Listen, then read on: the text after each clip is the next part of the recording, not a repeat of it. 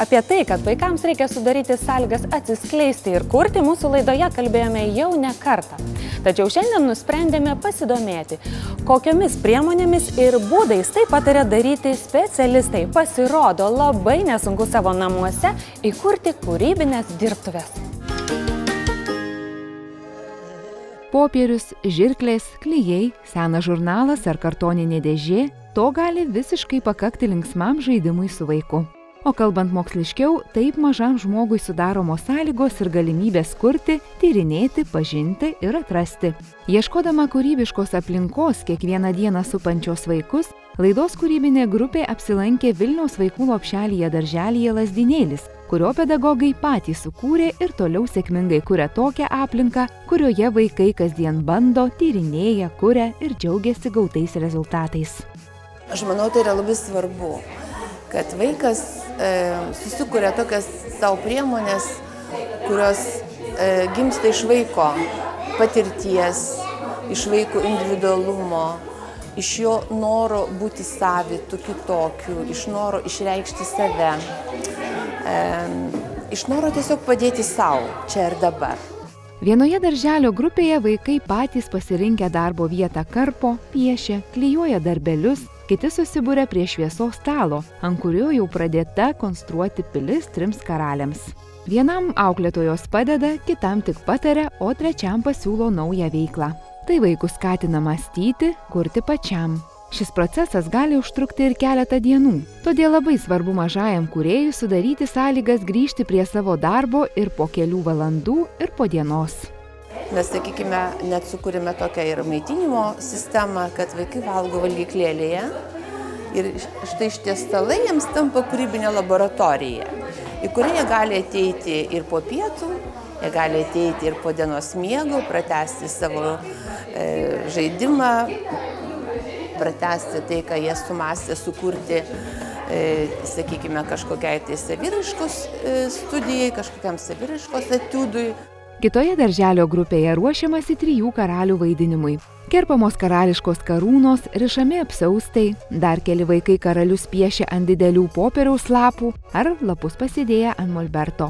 Net keista, kad visi labai susikaupę, nes nėra laiko triukšmauti. Jų grupėje vyksta rimtas kūrybinis procesas. Per šį procesą vaikas išmoksta pasitikėti savimi.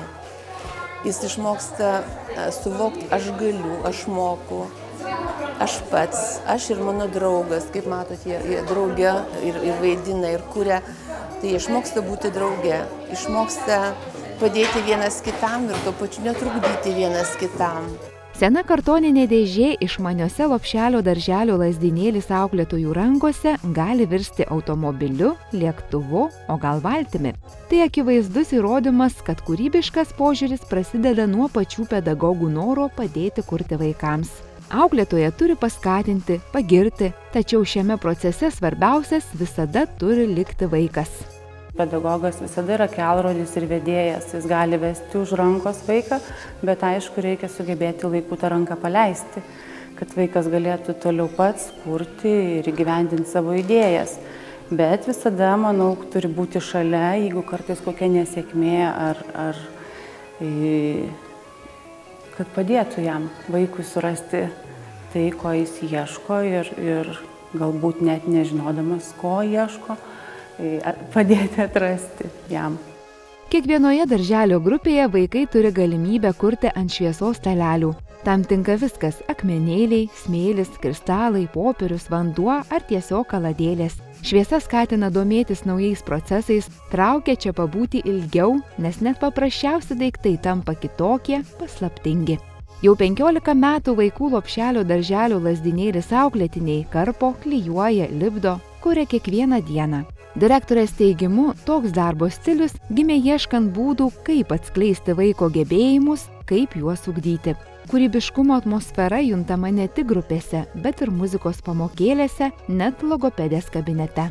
Jau kaip sunku yra prakalbinti vaiką, tuo tradiciniu būdu kalbėti, sakykime, tą e, profesionalo kalbą, tam, kad padėti vaikui užtarti šž, o tuo tarpu mūsų daivutė naudoja įvairias priemonės, naudoja ir šviesos stalo terapiją. Ir vaikas tiesiog užsimiršta, kad koreguojama jo kalba jis kūrė, jis kūrė kalbą, jis kūrė žaidimą, jis kūrė paveikslą, procesą. Taigi tėveliai turbūt suprato, ne žaislų brangumas ar naujumas lemia vaiko kūrybiškumą, o juos supanti aplinka ir mylinti žmonės. Taigi kiekvieną dieną, kiekvienoje situacijoje su savo mažuoju bandykime kurti kartu.